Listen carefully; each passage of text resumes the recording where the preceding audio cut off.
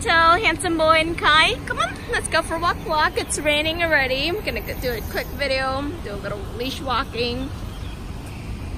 They're, all eight of them are equally good. Amazing puppies. Really good temperament. And loves people, great with dogs, and walking really nicely on the leash. They're gentle pups. They're happy, playful, sweet, gentle.